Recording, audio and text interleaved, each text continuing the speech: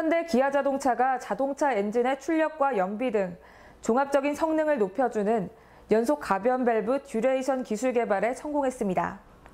현대 기아자동차는 3일 연속 가변 밸브 duration 기술을 세계 최초로 개발해 양산차에 적용한다고 밝혔습니다. 이 CVVD는 지금까지 부분적으로만 가능했던 엔진 밸브 열림 시간 제어를 엔진 상황에 따라 최적으로 조절해주는 기술입니다. 회사 측은 기술적으로 상충 관계인 엔진의 성능과 연비를 동시에 향상시키면서 배출가스까지 줄여주는 것이 특징이라고 설명했습니다. 이에 따라 현대차 8세대 소나타 터보에는 해당 신기술이 들어가는 스마트 스트림 1.6 가솔린 터보 엔진이 탑재됩니다. 현대기아차가 출시 예정인 8세대 소나타 터보의 공인 연비가 기존보다 10% 상승할 것으로 전망하고 있습니다.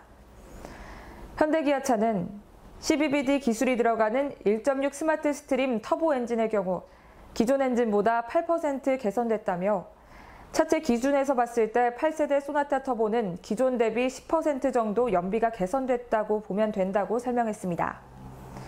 현대기아차의 예상이 맞는다면 8세대 소나타 터보는 최저가 트림 기준으로 약 14km대의 연비를 달성할 것으로 전망됩니다.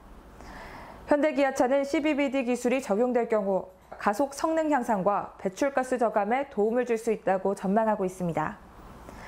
CVVD 기술 적용 시 엔진 성능은 4% 이상, 연비는 5% 이상 향상되며 배출가스는 12% 이상 저감할 수 있다는 것이 현대기아차의 설명입니다.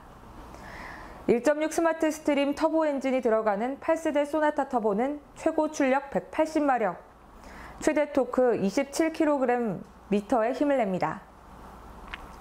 이는 지난 7세대 소나타 뉴라이즈 터보 1.6 모델과 같습니다. 이에 대해 현대차 관계자는 실용 영역대의 출력이 전반적으로 올라가 실질적인 출력 향상을 통해 가속 성능이 향상됐다라고 전했습니다.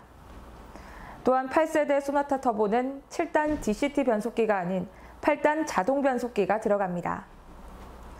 현대기아차는 앞으로 소나타 터보뿐만 아니라 경차급 차량에 CBBD 기술을 적용할 예정입니다. 또한 204마력의 힘을 내는 엔진에도 CBBD 기술을 넣겠다는 계획입니다. 해당 기능이 탑재된 소나타는 올해 하반기 출시 예정입니다.